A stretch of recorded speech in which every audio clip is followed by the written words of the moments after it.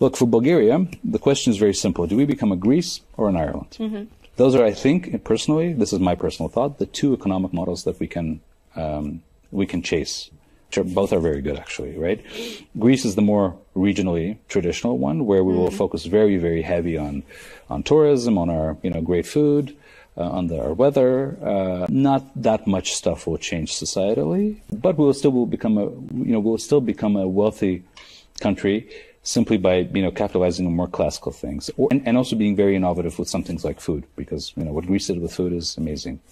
Uh, it's a global brand, right? So yes. there we have endless opportunities of growth. Or are we going to become more in Ireland, a country that will focus more on getting foreign businesses to come and do stuff out of here, mm-hmm. that will, and that will be able to attract many, many people from all over the world to build, you know, a great economy.